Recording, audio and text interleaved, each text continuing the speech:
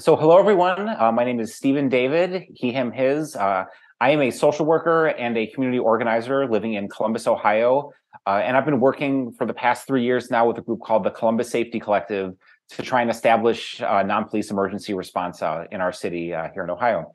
Um, so really grateful to Jason and all the folks at the Law and Mental Health Conference for giving us an opportunity to talk about the work that we've been doing here in Central Ohio um, and recording this before the conference, but really excited to um, to be doing all this learning with you all along the way, um, and excited to be interacting with folks uh, in the chat today uh, while we're watching this.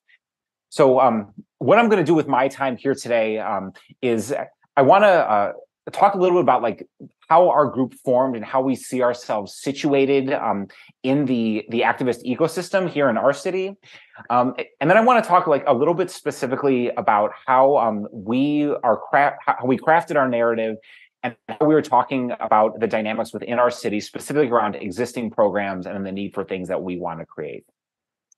Then I'm going to run through the um, the policy pillars that the Safety Collective arrived on through a consensus-based process and um, how we see those fitting into some of the work happening nationally. And then uh, kind of give an update on where we're at uh, in our process uh, with uh, uh, building one of these teams. Um, the short version of that is that at the end of our um, our last budget cycle in February of 2023, our city council allocated $1.2 million to stand up a non-police emergency response program in Columbus, Ohio. So we are currently in the implementation phase of that, and the Safety Collective remains engaged with the folks in city government around that. So um, I'll give an update on kind of where that stands um, and kind of what the future holds for us. Um, but really excited to talk through this with you all, and uh, excited for all the learning that's happening, um, and just grateful that this conversation is happening um, in this space. So I'd like to start out with um, you know, how we form the Safety Collective, um, because I, I feel like this um, this is kind of to me one of these classic activist stories of um, you know the way that things can come together. Uh, you know, sometimes through happenstance, but just um, the the importance of engaging in these conversations and and then not knowing where they would necessarily lead us. Um, so for us in Columbus, Ohio, um, the Safety Collective really started uh, with a um, a meme that uh, went viral in the summer of 2020 uh, by a group called the People's Budget of Columbus. So this was a a single organizer who created a Instagram account uh, and a Discord channel. Uh, talking specifically about how cities uh, do their budget process, allocate their funding, um, and notably because um, of the the George Floyd uprising of that summer, talking about the way that cities spend um, oftentimes the lion's share of their operating budget on law enforcement. So the People's Budget of Columbus put out this meme, uh, said cities are just police departments with some underfunded services on the side. Um, and with this bar chart that uh, was a depiction of the uh, city's operating budget. And so the um, this started to get a lot of traction on social media here, and the Columbus Dispatch, which is our local paper, actually picked this up and ran like a fact check article about it, um, and poke some holes in this this graphic, notably because like it has this education line item here, um, you know, and and so comparing like the three hundred sixty million dollars that that goes to the police had this like six million dollars for education. And so the dispatch pointed out rightly that like this is a bit um, of an inaccurate representation. Uh, Columbus City Schools has their own budget that's not part of the city's operating budget, so isn't really an apples to apples comparison here.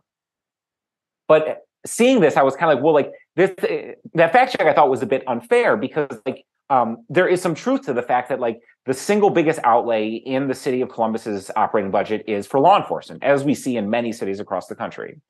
Um, so I took it upon myself to um, to to put out a uh, a version of this graphic here, which is um, what the city of Columbus operating budget actually looks like, where we um, spend around like a third of our money on law enforcement. Um, two thirds of the operating budget go for public safety combined. Um, and then I pointed out some of these other departments that our city has that, um, such as health and parks and rec, um, notably because these are places where bodies like the Columbus Care Coalition or um, some of these anti-violence programs Incredible messenger um, type interventions are being housed in our city. And so I tweeted out a version of this graphic. It was to be like a fact check of the fact check, and be like, yes, that other one, like not completely accurate, but like this is the picture that we're looking at, where um, you know our policy choices at in our city, as in many cities across the country, are to invest in law enforcement as the biggest way we try and deal with social problems. Um, in our view, to the detriment of some other places where they could go that are these upstream type interventions around health and housing and wellness. So I um when I tweeted this out, um, an activist that I knew reached out to me and she was like, "Hey, have you been talking to the folks at the People's Budget of Columbus? You need to join their Discord channel." Um, so I did that. So you know, she sent me the link to the Discord, and I um, got plugged in with that body there. Um, and in in that context, we started having this conversation around what alternative emergency response or mental health first response, civilian responders um, looks could look like for our city. Um, and so this is an image of um, a a demonstration that I went to where actually I met one of the other founding members of the Columbus Safety Collective. We we had um, seen each other on a, a chat on the Discord, and then we ran into each other at that protest. And um, we have been in this work now, you know, going on three years, um, trying to to to push this as a piece of something we want our city to be investing in. And so while this was happening, um, you know, during that summer and and that the subsequent um, winter into the spring of uh, the winter of 20, spring of 21, our city launched a reimagining public safety process, which was a, uh, a series of um, uh, public hearings uh, through city council, as well as a community facing survey um, to have some of these conversations that we're having across the country. Um, and they had broken it into a, a couple of tranches, one around violence prevention, one around alternative response, another around police accountability. Um, so because my colleagues and I that I met through the People's Budget kind of had different jobs and like different titles that we weren't necessarily rep- using in that space, we formed the Columbus Safety Collective basically to make our introductions cleaner, so that we could all show up, say like, "Hey, we're from the safety, the Columbus Safety Collective." Um, as we started to meet with members of council, um, folks in public safety, to to really articulate the need for this kind of service here. And so, as I said at the beginning, I'm a social worker by training. I've spent a lot of time um, over my career in some of these bodies um, in the city of Columbus that are have a focus on neighborhood trauma or um, neighborhood and uh, and resilience based approaches. So I had some of that background. Um, some of my colleagues, we had an economist from uh, from local university, somebody uh, work in the reproductive justice space, and just like a number of people that really gravitated to this issue of um, of non police response. So we formed the Safety Collective just basically as a container for that advocacy so that we could all be working together and, and pushing on this specific issue. Um, so a couple things came out of that reimagine advocacy since then. And one was this survey that the city of Columbus did during that process. And so um, the the city uh, released this survey uh, collecting feedback from folks on what they felt about the current public safety systems um, got over 4,000 responses to it. Um, my colleague, who is an economist, will point out that it was not a, a, scientific sampling and so isn't necessarily representative of the city of Columbus, um, but was the city's best effort to collect input from um, the people of our city on what they feel about this issue. And so what we found here was that 80 to 85% of folks who responded to this said that they were somewhat or very comfortable with non-police teams being used for a range of responses currently often responded to by law enforcement. So things like mental health crisis, suicide threats, homelessness issues, general behavior issues, um, well checks, not emergency cases. So, so basically the city collected its own data where we got this resounding mandate from folks that like they want and support this type of programming. And so a piece of what we've been doing as the safety collective all along is to just encourage the city to do to make good on what they asked people for and to put in place the kind of structures that they received an endorsement for as part of this process.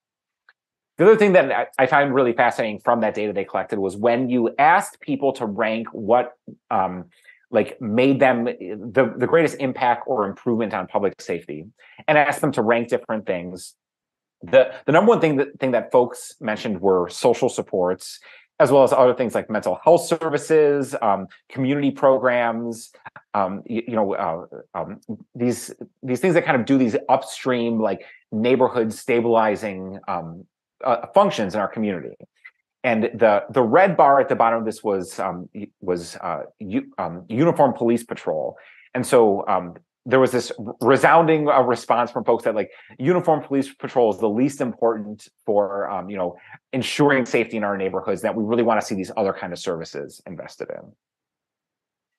So that was kind of the landscape on where the Safety Collective, how we formed, and like the, and our early work in this space.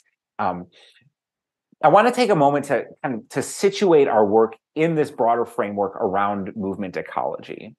Um, because I think that we're trying to do a specific type of advocacy in our work that, um, and we want to like situate it in this framework because um, we think it's helpful to understand like what we're doing as an advocacy group and what we're not doing. So, for those that may not have seen this before, movement ecology is a framework that um, puts our social change work into one of three kind of larger buckets.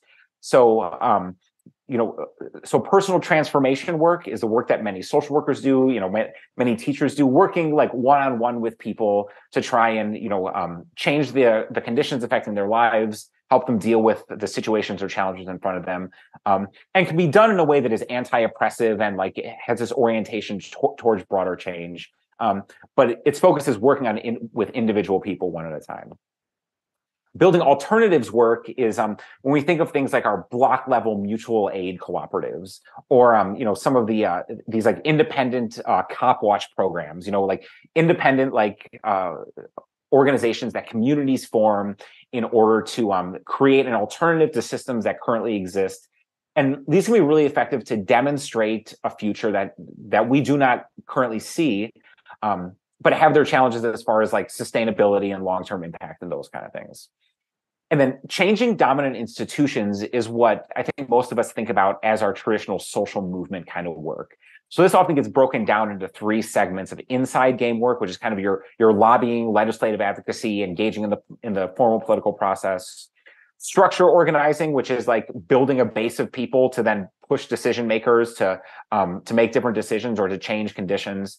And then mass protest, which is what it sounds like when there's a mass consciousness raising event and people um, oftentimes like seemingly spontaneously will gravitate around an issue.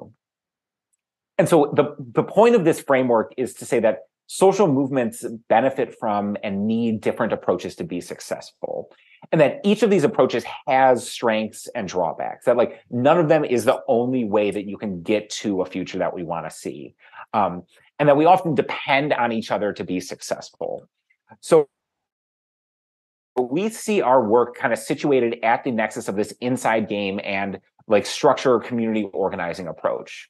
Most of our work has been advocating to people in city government for the need to build this process. And we've been trying to do so by engaging community and lifting up those voices and trying to like, this is in fact what people want, what we need, you should build it now and so we like i think like as evidenced by the fact that um, you know our city allocated money for this program in our most recent operating budget we've been successful at like, we've had some wins along the way of changing this narrative and getting a program established. But i think that the work that we are doing would be impossible without the 2020 uprisings and without that consciousness raising moment that happened um, in our city and without folks who have been doing this work, um, you know, to educate people around what's happening in the justice system, and people who are building their their block level autonomous alternatives um, to existing policing structures. So we very much see ourselves as being a, a piece of this broader movement um, here in the city of Columbus around um, around police reform, accountability, racial justice, um, and building a, a, future that doesn't rely on these carceral systems, um, but you know is is only one way to go about dealing with this problem. So I'd like to transition now to a, a bit of this piece about narrative and how we've um, and and how we were talking about this work in the city of Columbus, because I think that we had kind of a unique in our city um, that we were trying to deal with when raising this issue around the need for civilian or non-police response and this problem is is something that like folks who are in the the social service realm um, will think of as you know, um, possibly program rich and coordination poor, um, where the city of Columbus had um, and and still has like a existing suite of alternatives to your traditional police only response. And so, as we probably heard along the way, there are many cities in the country that are implementing this kind of suite of alternatives, essentially coordinated through through a single office or body or branch of, um, of public safety or another part of city government. Here in Columbus, um, the programs that were already on on the books um, were the Right Response Unit, uh, which is a, a call diversion program. So social workers embedded in the 911 call center we already had a um, a co-responder program of um, social workers paired with police officers, known as the Mobile Crisis Response Unit, um, where um, that was originally done with a partnership of our um, our private um, crisis mental health center. That relationship severed, and now those social workers are being provided through uh, Columbus Public Health. And then we also had two follow-up mechanisms. So the RREACT program, uh, which is a police, fire, and a social worker that does follow-up on drug overdose events, and the Spark program, which is an EMT and a social worker to do follow-up mechanisms with people who are frequent 911 users for non-emergency issues. These folks tend to be older adults, people with disabilities, have issues uh, getting around the house with mobility challenges, would call 911 because it's the only place where someone always answers. And so Spark was meant to provide that service linkage for people that are using emergency services when, for things that, you know, should be done through like long-term, you know, in-home nursing or case management. So the city of Columbus had this suite of programs, right? Um, most people in our city don't know that these exist. Um, but when you would ask folks in our city about like what we have, um, we would often hear this thing that Columbus is is doing it better than anybody else in the country. Um, that you know we have it figured out here in town. And so a piece of what the safety collective was trying to do was, in fact, point the fact like no, we don't. That that, that we don't have this problem figured out. Um, and then in fact, there's like um, a key missing piece in our civilian by not having true civilian response as a primary response mechanism, but also trying to like make this link to this larger budget picture. That um, before the most recent operating budget, um, you know, our city had like almost 1,900 police officers, around 1,600 firefighters, and like 36 people working amongst these four alternative response programs and you know compared to these um you know these hundreds of millions of dollars being spent on on public safety you know like um close to 360 million dollars uh for police you had this four and a half million going to these existing alternatives.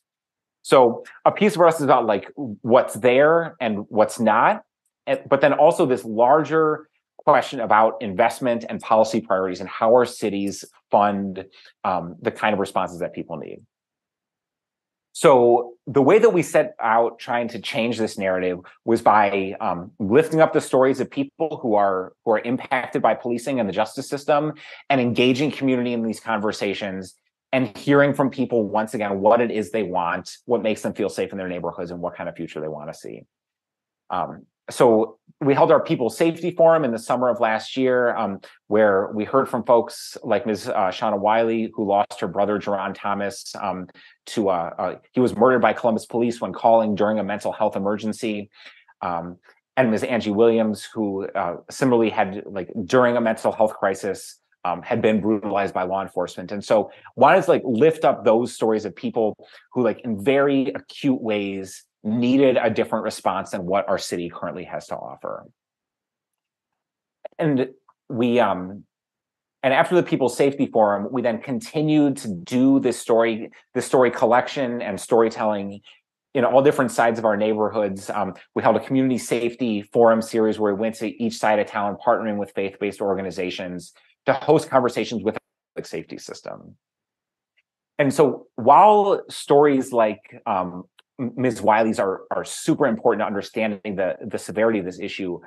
One thing that struck me through these conversations is is the banality of so many people's experiences with having something where they wanted to call for help but didn't feel comfortable doing so because they knew that police were the only option that that, that they would get. So folks all across our city, all across um, you know different different um, neighborhoods and and lifestyles and socioeconomic status had the story about like oh I, I wanted somebody but just like didn't have it. And so we took it upon ourselves to continue to source these stories and um, and put them into contact with the folks in government to hopefully fund um, to, to try and get money for these kind of services um, and so we basically have been doing this like every chance we could to have this conversation, trying to push this narrative that like what Columbus has isn't enough, and we need to build a new public safety system that folks can rely on and trust. Um, and so we have did that through things like our Metropolitan Club. Uh, you know, I, I was able to talk on our local NPR station, like anywhere that um, we had the opportunity to have this conversation. I've tried to get this out in front of people to change this narrative that like the city needs something that we don't have, and this is our opportunity to fund it. So after engaging in um, this this messaging campaign around trying to um, to tell the about what we need in the city of Columbus. Um, a huge piece of that for us was having a set of policy pillars that we could all stand on. So the Columbus Safety Collective has always been a coalition of people um, across different advocacy spaces, people with lived experience, community members, um, and we needed to know what it is that we wanted, what kind of future we wanted to build with um, alternatives in the city of Columbus. So we ended up landing on a set of five policy pillars to inform how we want this system to be built. Because for us at the Safety Collective, this has never been about just getting, you know, certified, just getting um, people who have a uh, documented mental health condition a response from a mental health clinician. We see this much more as this broader opening to rethink how we do the public safety system and wanted to lay out a set of pillars that we could stand behind that was endorsed by community through this process we engaged in um, of what this system should look like in order to really rebuild trust and get something that meets the needs of our neighbors. So first of these was non-police emergency response. Um, that it, that uh, people experiencing crisis deserve an anti-racist, health-centered emergency response program that would be accountable to um, to the people impacted and would promote long-term investment in community supports. Um, so non-police response to us, like because we had this, um, you know, a a call a call diversion program and a co-response program, but not this non-police piece. We we thought this was really essential to, to draw this distinction for people that need help, want someone to call, don't want law enforcement on scene. The other thing that feels really essential to us is prioritizing community workers. So we know that folks who have um, the most credibility and the most cultural expertise live within our city. They um, are would they make the best responders to to crisis because they're the true first responders anyway. When something goes down on your block, it is neighbors who are there first, and um, you know your formalized first responders come afterward. Um, and so we want, as the city staffs up this program, to think about how we're lifting up that neighborhood expertise. Um, so this is is meant to deal with this issue that we have where um, three quarters of our police officers currently reside outside the city of Columbus. We want to be able to source people from within the city um, and prioritize um, those folks and lift up the expertise that already exists in our neighborhoods. We want the city to invest money in it. We want high quality jobs. We want to see, um, we want to be positioning this as a future that folks can see of a way for them to serve their community. Um, to really build this as a third branch of the public safety system. You know, every every kid probably has some, um, you know, a week in school talking about the community helpers of the doctors and the firefighters and the police officers. We want to position this as a, a key piece of our community helper network that folks can see themselves in this job as a community crisis responder um, and that there are pathways to leadership in this so that um, we are able to lift up folks doing this work who would be the best suited for it. And then we think that this is an opportunity to deal with the accountability crisis that we currently see in law enforcement.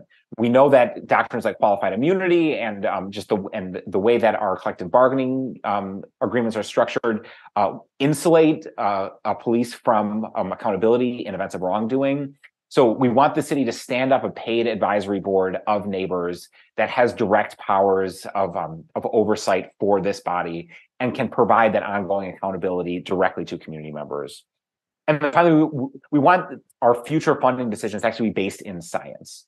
So much of what we encounter in our work is th- this mythology of law enforcement that you invest in police to make us safer, despite the fact that we don't have good evidence that that is actually the case. And and even despite the proliferation of these um, of these alternatives, we don't have good rigorous data on how they're operating. So we think that setting up good evaluation at the beginning with transparent data accessible to anyone ideally running a randomized control trial so we can say um, with certainty what is happening and what's not happening with these bodies and that that that type of rigorous evaluation should guide our future funding decisions. So we provided the city of columbus a blueprint. Uh, we're asking for $10 million uh, we laid out how we would think this program should be structured um, and asked them to, to put up some money for it. Um, and then we mobilized our folks once again um, to engage in um, the budget process. So we hosted trainings for folks and um, and brought people out to testify during our public safety budgeting, um, asking to fund the um, the the program that the Safety Collective had laid out.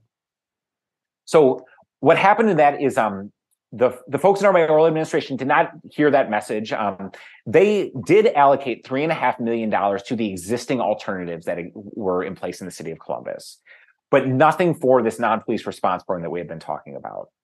Um, so that that was a blow to us and felt like a barrier that we are still working through. Um, but in the amendment process to the budget, our council president uh, Shannon Hardin um, allocated 1.2 million dollars to stand up a non-police response system um, as part of the additional money that council uh, tacked onto our operating budget. And so we're really excited about that and about the, the possibility that it holds, um, but recognize the need to continue to engage the community in this process. So we held a budget debrief um, where we have once again tried to make this case about like how we're doing these investments. And so, you know, police in this 2023 operating budget got $371 million. Um, um, as as opposed to this um, around nine million that we have for our suite of alternatives. So there's something that gets talked about a lot, but when we think about as far as a piece of the total pie, there's a lot of work for us to do here as far as shifting our public safety services to be what the community. So as far as where we're at at the present, um, there's this ongoing need um, for us to be maintained, to be engaged in this process, and to insert community voices into the implementation phase. So we see this ongoing need for buy-in amongst public safety, um, and are we're currently working through networks like the ones um, that you know are established by conferences like these to make connections and get connected with technical expertise and training to help put those people in touch with um, our our folks here in Columbus, Ohio. Um, and so we really see this as an opportunity to build in these pieces around accountability and oversight at the beginning of this process so that we can um, build a program from the ground up that our neighbors want to be invested in. So we're continuing to try and stay in front of people. Um, we have a, an ongoing newsletter. Uh, folks want to connect with us. Um, we just wrapped up um, some uh, some petition signing campaigns where uh, we had um, our petition for uh, uh, there's an abortion access petition going around in, um, in the state of Ohio right now uh, that we are collecting petitions and doing our public safety teaching um, to try and harness some of that energy at the moment and keep this issue of of policing and non-police response in front of our neighbors. So um, really appreciate everyone listening today. Uh, if you're curious about the work that we're doing, if you want to connect with us, um, hear about where we've traveled so far, or um, have um, some guidance that we could probably use uh, from those who are further along in this process, please feel free to drop us a line. Um, you can scan this QR code uh, to uh, to get connected with our email list, um, so you can stay up to date with what we're doing. and we're on social media at CBUS Safety Collective, and you can find our stuff on our link tree really grateful to the conference organizers um, and uh, hope that everyone uh, enjoys the rest of the conference and has a good weekend ahead. Thanks so much.